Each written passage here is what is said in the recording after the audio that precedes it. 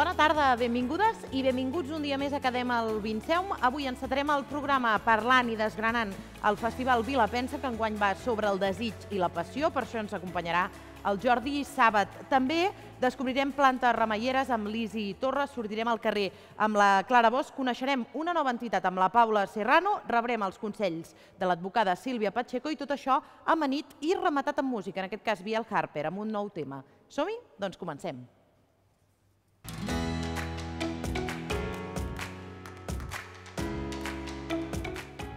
Avui encetem el programa parlant del Festival Vilapensa, que ja en teníem ganes perquè és un esdeveniment importantíssim a la nostra ciutat. La setmana passada ja el vam presentar en un acte i avui intentarem desgranar la seva programació i fer-vos venir ganes de Festival Vilapensa. I per això ens acompanya el seu director Jordi Sàbat. Hola, bona tarda. Bona tarda. Enguany passem eh, del mal al desig i la passió, per tant, en certa manera, això ja és un reclam eh, de ben segur, no? perquè aquesta passió que ens mou a tots a la vida. No? Sí, l'any passat el mal doncs, va fer mal perquè realment vam quedar una mica aixafats i per això ja tenim la idea de recuperar aquest tema del desig i la passió, dos motors de la vida, uh -huh. però que a la vegada també els vivim d'una manera no, no, no sincrònica, no? perquè la mateixa satisfacció del desig ja comporta la seva frustració. No?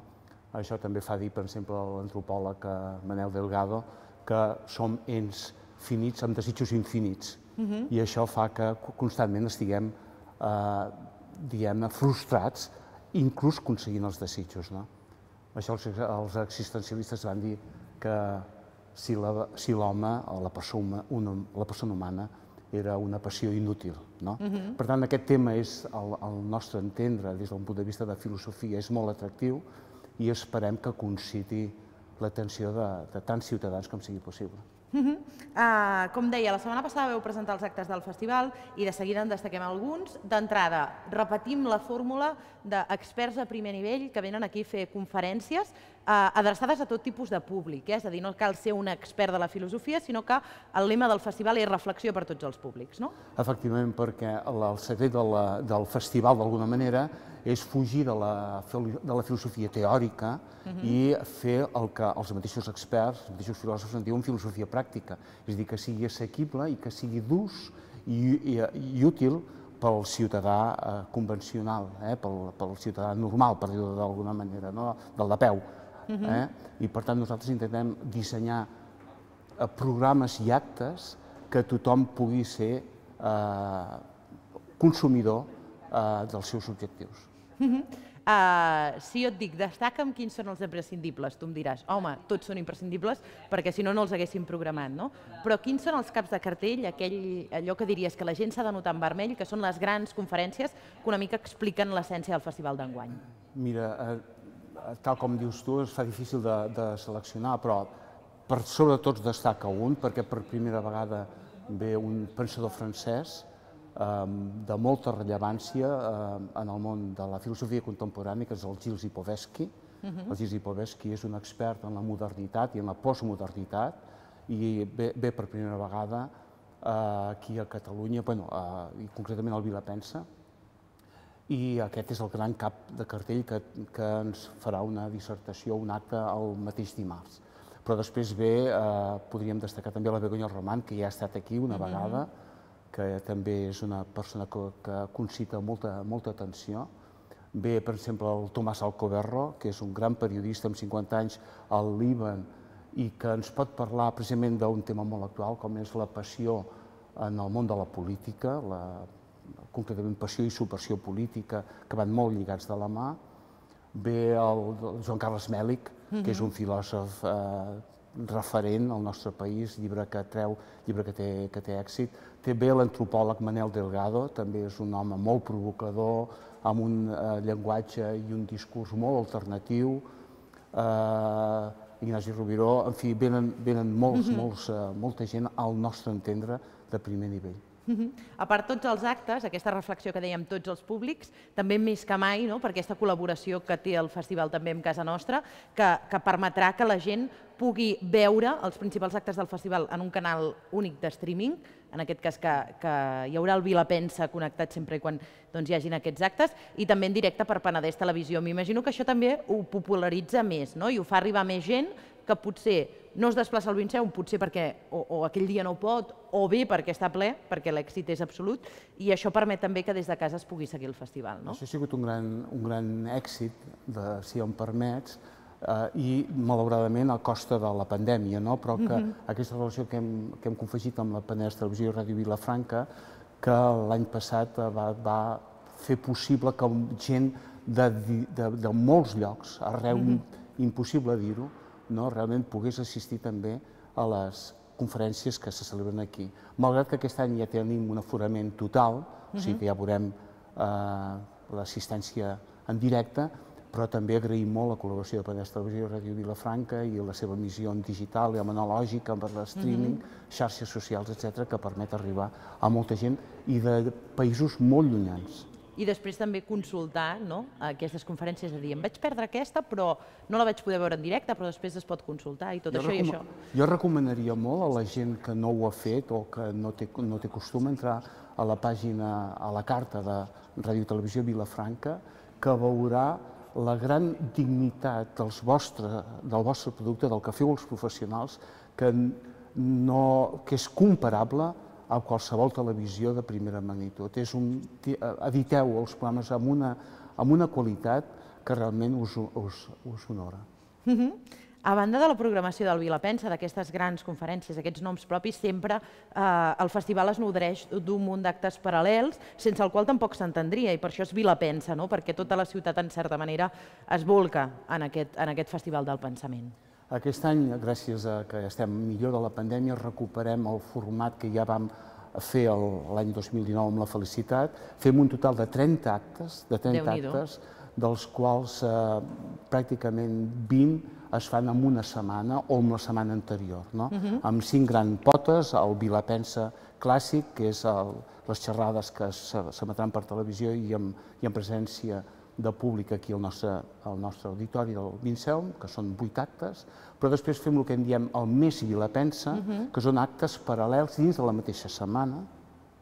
Després fem tres actes especials, un d'ells ja l'hem fet i dos el farem ara el dia 31 amb totes les biblioteques públiques de l'Alt Penedès i de la Noia i els seus clubs de lectura i també farem al setembre, ja ho podem anunciar, farem un gran acte el dissabte 17 o 18, no recordo exactament, o en commemoració del centenari del naixement del Joan Fuster, uh mhm. -huh. per molts el més gran intel·lectual en llengua catalana del segle XX, i que vindrà gent també molt rellevant. Però a la vegada també fem Eh, el Vila pensa a educació, uh -huh. també pel món de batxillerat i de secundària, i també aquest any recuperem el que nosaltres en diem Vila pensa als municipis. Que és que professors de filosofia s'escampen pel territori, concretament a vuit espais, a vuit biblioteques, coincideix amb això, eh, per fer un mateix acte sobre passió. Per tant, estem parlant de 40 actes de, 40, de 30 actes perdó, amb 40 ponents o, eh, o eh, moderadors, eh, i que penso que compleix l'objectiu primigeni del Vilapensa, que era, algú ho va dir, com una gran festa major de la, del pensament i de la cultura concentrat en una setmana aquests actes paral·lels que s'encampen més enllà de la pròpia setmana del Vilapensa. Ja per acabar, m'agradaria que recordessis als espectadors, eh, aquesta és la teva càmera, els dies del festival, allò de dir, agafeu calendari, retolador vermell, el Vilapensa. Molt bé. Doncs eh, el primer de tot és el, divend, el dijous 31 de, de març, aquí al Fòrum Verger Balaguer, que ajuntem tots els grups de lectura del, com he dit, de l'Alt Penedès i, del, i de la Noia, perdó, i del Garraf, i que ve la Nejat Elashmi a parlar sobre el desig en la literatura.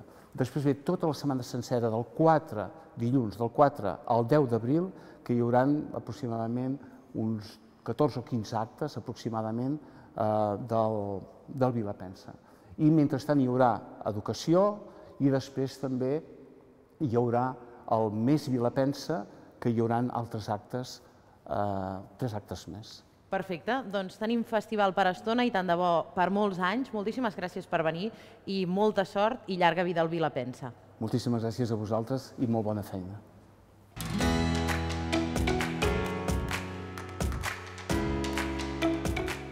Cada 15 dies aproximadament ens visita l'Isi Torres per parlar-nos de diferents plantes i de les seves aplicacions remeieres per fer remeis. I en aquest cas, bona tarda, Isi. Hola, què tal? Quina planta, de quina planta parlem avui? Doncs avui us portaré una cosa una miqueta diferent. Doncs és un, un arbre, hi ha qui el considera un arbust, però jo crec que es pot considerar un arbre, doncs pot arribar del 7 i en alguns casos està a 10 metres d'alçada, vull dir que podríem dir que és un arbre, i és el saüc, el uh, Sambucus nigra. Ah, quines propietats té aquest saüc? On el podem trobar d'entrada? Doncs, bueno, el podem trobar, eh, és, és de zona de ribera, llavors molt a prop dels rius i en zones frescals, a l'Obaga, mm, també s'associa molt amb el roure, i llavors a llocs a l'Obaga, a prop de roures, també el podem trobar. I el que et deia, propietats del saüc. Quins beneficis ens aporta? Doncs és, és molt interessant perquè mm, el que, bueno, es pot aprofitar diferents parts d'ell. Podem aprofitar des de les fulles, la part interna de l'escorça i sobretot, sobretot, les flors i els fruits. Els fruits són unes drupes, un, uns petits fruits rodons que surten emmanats i són unes, unes drupes de color fosc, quasi un lila quasi negre i podem utilitzar per moltes coses. La podem utilitzar eh, sobretot per estats de, de catarros, de, de encostipats, de mm, bronquitis, també, en, en forma d'infusió. Després també podríem fer un xarop amb les baies, amb les drupes aquestes, podríem fer un xarop que va estupendo per la tos nerviosa, aquelles tos que sembla que no puguis parar, doncs fent un xarop, un tipus de marmelada, també cal dir que aquestes, aquests fruits eh, crus no es poden menjar. Els hem de transformar una mica i fer o un xarop o una marmelada perquè porten una petita quantitat de, de mm, alcaloides, llavors amb, amb, per mitjançant de la calor els perd. Aquí tenim, podríem dir, el saüc part de- d'aquest arbre, no? Sí. I aquí tenim eh, una, les, les flors, no? seques, les, flors seques. De fet, és, és un arbre que és caduc i ara comencen a sortir les tiges joves, que és el que, el que he trobat. Té aquestes uh, fulles que són pinacompostes, que és una fo- forma una mica com de mà, no? així cinc, cinc pètals. I mm, podríem fer infusió amb les fulles, les flors que surten amb uns ramilletes així bastant grossos, vull dir, és una flor que igual hi ha com 100 floretes juntes, la podríem menjar crua a les amanides, la flor sí, la podem fer amb tempura, tota la flor sencera, que queden superboniques i li podíem posar una miqueta de mel per fer com un postres, i amb, les, amb els fruits doncs, es fan unes marmelades exquisites també. Per tant, sempre hem de tenir present que més enllà de la planta pròpiament dita, exigeix tot aquest procés, de Procés preparació de- perquè ens aporti, ens aporti tots aquests beneficis, no? De fet, també és, és un arbre que també és molt estimat per la seva fusta, doncs dels, dels saücs es fan les gralles, les flautes, m- molts instruments d'aquests que van foradats i antigament havien- s'havien fet moltes eines i per això també ho podem trobar en moltes masies, és un arbre plantat allà per, per poder-lo aprofitar, la seva fusta també. Per tant, estem parlant d'un arbre amb múltiples funcionalitats, amb múltiples Molt, aplicacions, molt. des d'aquesta molt- part més curativa fins a construir eines, no? I és molt bonic també perquè és un arbre així que cau, vull dir que, que quan el veus és un arbre que te'l mires perquè és, és atractiu. És bonic de veure. Sí, sí, sí. Perfecte. Doncs i sí, ha estat un plaer tenir-te aquesta temporada aquí, que ens hagis explicat tots aquests remeis, que hagis donat a conèixer totes aquestes plantes. Estem encantadíssims de que hagis passat per aquí el Vinceum i tant de bo la nostra col·laboració s'allargui molt de temps. Moltíssimes molt bé, gràcies. Jo també molt contenta, m'he sentit com a casa i molt contenta d'haver-vos pogut ajudar a col·laborar una miqueta. Perfecte. Doncs moltes gràcies, un plaer. A vosaltres. I ara el que fem nosaltres és sortir al carrer i ho fem amb la Clara Bosch, que avui ens torna a posar de prova de nou. Concretament, Clara, què preguntes avui? Doncs avui dimarts el que fem és sortir a parlar de sèries, a veure si sou uns bons serièfils. Doncs avui parlem de sèries. Tu com vas? Ai, ai. Anem a comprovar-ho. Comencem. Què li agrada veure al Homer Simpsons? Ho tens clar? Sí. Doncs sí, no, no cal que et doni les tres opcions, veig. No. Cervesa, no? Cervesa. Comencem bé. Cervesa, cervesa. Quin d'aquests no és un invent del Doraemon? Opció A, el casquet volador. Opció B, la porta màgica. Opció C, la capa vermella. La cabra vermella. Cabra has dit? Capa vermella. La capa, la capa vermella. La capa, Capa vermella. La capa vermella. Molt bé. Quin, quina d'aquestes sèries és més llarga? Té més episodis? Opció A, Anatomia de Grey. Opció B, One Piece. O opció C, Joc de Trons. One Piece. Molt bé, com ho saps, tot això? Que me les he vist. Has vist els més de mil capítols? bueno, no tots, però sí, gairebé tots. Són moltes hores, eh? Les hores. Jocs de trons? No. Anatomia de Grey? Tampoc! doncs bueno, l'altre, que no sé quin, no sé ni què m'has dit. One Piece, sí, sí. Jo no en tinc One ni idea. Piece, crec, perquè encara no ha acabat, em sembla, no? O alguna així. Bueno, no Sí, sé, sí, jo també, diria One això, Piece. sí. Doncs sí, One Piece en té més de mil episodis, o sigui, i Anatomia de Grey uns 300, que també són molts, però... Que els hem vist tots. Després, quin personatge és de Joc de Trons? Opció A, Daenerys Targaryen, opció B, Tyrion Lannister, o opció C, Black Snow. Black Snow. Sort d'ella perquè jo no l'he vist. Ni idea de cap de tots tres, no en coneixo cap! No en coneixo cap de tots tres. Doncs, tira't el... La B? La B? Sí. No. M'he vist Joc de Trons. Vols que t'ajudin? És que jo no l'he vist. Quina et sona més? La B, que és Tyrion Lannister? Sí. Doncs no, és la C, Black Snow. I, igualment, molt bé, anem a l'última per treure ja el notable. Quina d'aquestes sèries no és sobre policia? Opció A, CSI. Opció B, Los Hombres de Paco. O opció C, Good Fight. La C. Aquesta última. La The C. Good Fight? Sí, Aquesta? aquesta, no? No ho sé. De La C, policia la C. no controlo, jo. Doncs, molt bé, perfecte, enhorabona, un 10. Sí. Enhorabona, avui tots aprovats i tots en sabeu molt de sèries.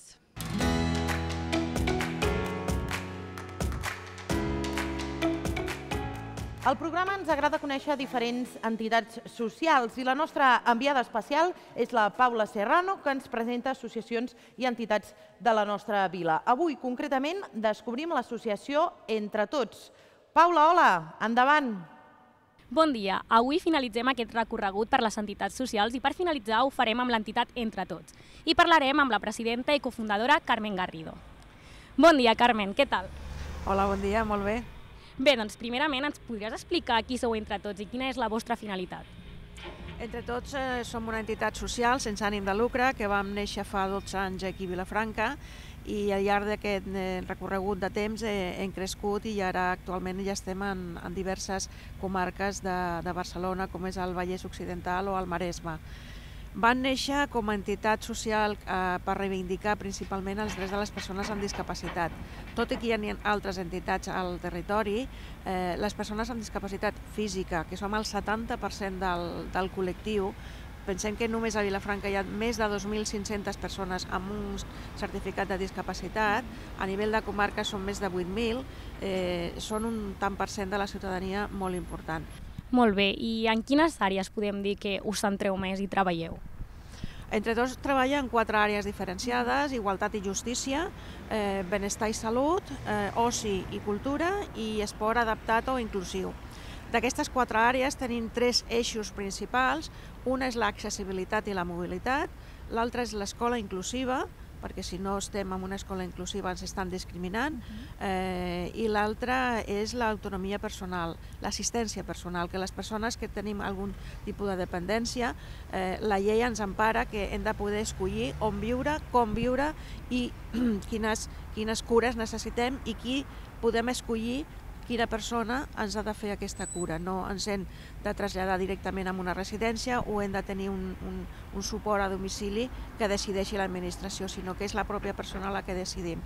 I això costa molt perquè l'administració no, no acaba de complir, no acaba de posar els recursos suficients i aquests són els tres eixos principals de la nostra tasca.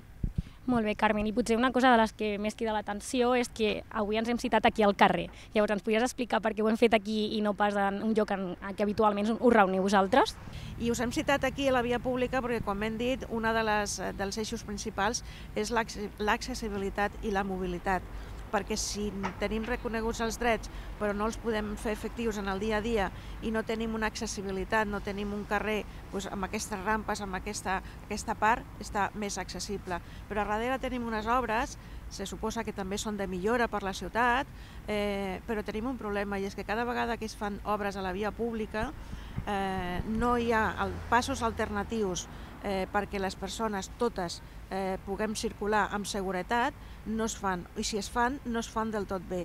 I és un, un greu ja comparatiu perquè les, les, eh, la pròpia Ajuntament, la, les, seves, les seves normes, diu que quan hi ha mm, obres a la via pública ha d'existir un pas alternatiu perdó, segur i accessible. Això ho diuen les ordenances municipals de l'Ajuntament de Vilafranca. Només si voleu donar una volta per aquí, no hi ha passos alternatius segurs que puguem circular amb una cadira, uns pares amb un cotxet, gent gran, i aquí hi ha tot un barri, que és el barri de, del, del Molí de la Rovira, que per aquestes obres queda incomunicat. No pots, la persona que viu té mm, problemes per sortir o entrar, o si vols anar a visitar algú, o anar a treballar, o anar a dinar en un restaurant, etc. Aquesta és la problemàtica. Si ens limiten l'accessibilitat, ens estan limitant la nostra vida, la nostra autonomia personal. I això és molt, molt greu, perquè és la pròpia administració qui incompleix la norma. Bé, Carmen, i ja per finalitzar, quina és la vostra manera de fer ressò d'aquests drets que reivindiqueu i de l'entitat en si? Doncs mira, agraïm, per exemple, a vosaltres aquest mitjà de comunicació que ens doneu altaveu per explicar les nostres dificultats, perquè la societat pensa que com que vas pel carrer i veus places reservades pintades de blau, quan vas a determinats espais públics, restaurants o, o centres eh, d'assistència pública, veuen l'enganxina de la discapacitat, de la cadira de rodes, els busos o els trens, veuen l'enganxina, es pensen que tot està solucionat, que l'administració ens subvenciona la, el material ortoprotèsic o les ajudes i no és veritat, sí que hi ha molta enganxina, però hi ha moltes vegades, com passa per exemple en els busos, que no són operatives perquè la, la rampa no funciona o les companyies no treuen els seients necessaris per poder encabir la cadira dintre del bus. Per tant, estan incomplint i això es continua passant. Per tant, és molt greu i, i mitjans com vosaltres que ens doneu altaveu expliquem aquesta discriminació que vivim al dia a dia. I això com ho combatim? Pues, parlant amb les administracions, fent convenis amb els ajuntaments, eh, trobant en reunions, participant de manera activa com a entitat eh, amb els, eh, en els grups de treball, a les comissions municipals com la Comissió Municipal de Discapacitat que hi ha a l'Ajuntament o al Consell d'Igualtat perquè les dones amb discapacitat també patint al revés, patint doble discriminació per per, ser dona i per tenir una discapacitat. És a dir, treballant colze a colze amb les administracions, no només exigint i, i reivindicant els nostres drets, sinó apostant la professionalitat que tenim. Una, un tret diferencial d'entre tots és que la gestionem i la portem majoritàriament persones amb discapacitat, que aportem el nostre coneixement professional, però també la nostra experiència vital. Molt bé, Carmen, doncs moltes gràcies per tot i espero que continueu caminant amb força cap a aquesta igualtat i cap a aquests drets que reivindiqueu. Gràcies. A vosaltres. Gràcies.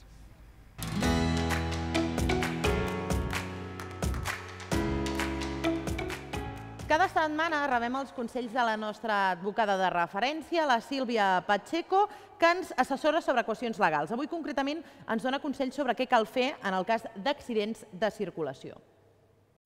Hola, avui us explicarem què heu de fer en cas de tenir un accident de circulació i us volem respondre la pregunta de si puc designar un advocat particular o obligatòriament he d'anar amb l'advocat de la meva companyia asseguradora. En primer lloc, us hem de dir que el que heu de fer és portar la vostra poli d'assegurances al vostre professional de referència. Ell la revisarà.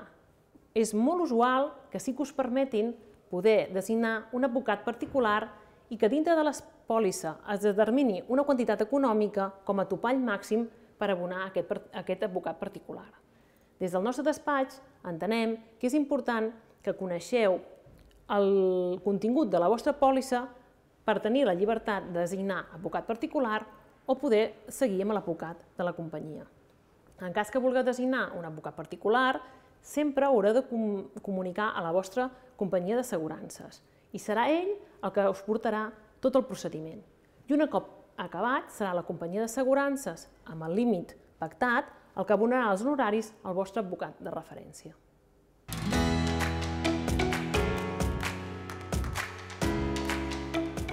I és el moment d'acomiadar-nos. En aquest cas, com cada dia, ho fem amb música, amb una nova cançó de Biel Harper. Avui ens interpreta Tendresa. Us deixem amb aquest tema i nosaltres hi tornem demà. A reveure.